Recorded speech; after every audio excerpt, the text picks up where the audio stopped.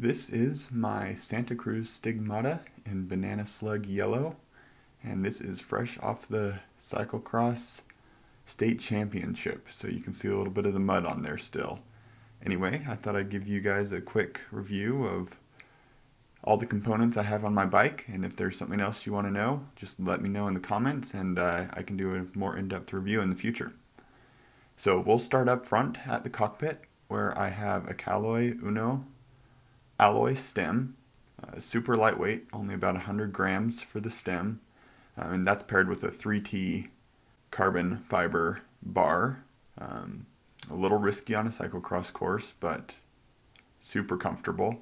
That has a Moon Garmin mount and the GoPro adapter underneath. I have Ultegra Di2 shifters on both sides, even though I'm running a 1 by. That allows me to use everything on the right for upshift and everything on the left for downshift.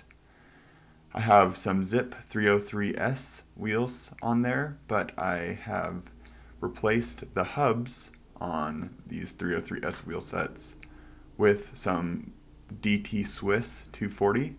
Uh, I went with that for their reliability, especially with the conditions we ride in. And you can also see I've got some Ultegra calipers paired to those Dura Ace rotors. If we move a little further down towards the crankset area, I'm running a Dura Ace crank with a 1x wolf tooth chainring with 42 teeth. Um, so a little bit bigger, but uh, I enjoy that gearing. I have egg beater pedals on the front, uh, which do a pretty good job of clearing the mud, um, but you do have to service the bearings a little bit more frequently. On the back, I have that paired with a Shimano XT Di2 rear derailleur with the clutch mechanism to help prevent a couple extra chain drops. And then my cassette is an 11 to 42, so it is a bigger range, but that is gives me a one-to-one with uh, the 42 ring up front. Um, same DT Swiss 240 in the rear hub. And on the seat post, I have a Deda Superleggero seat post um, paired with a Shimano Stealth saddle uh, tires, I'm running a Challenge uh, Limus, just the regular version of the Limus, tubeless ready. Um, not the baby Limus, which are also a pretty popular tire.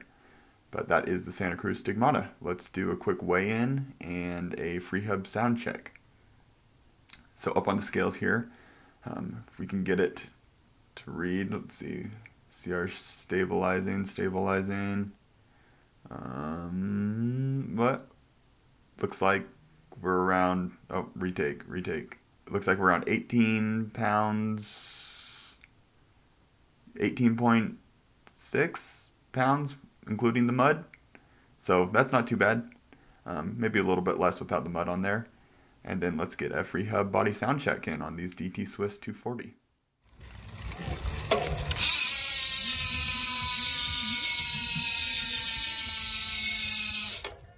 Nice.